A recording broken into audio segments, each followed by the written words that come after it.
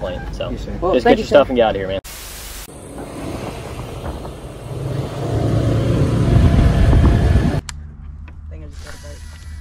I guess.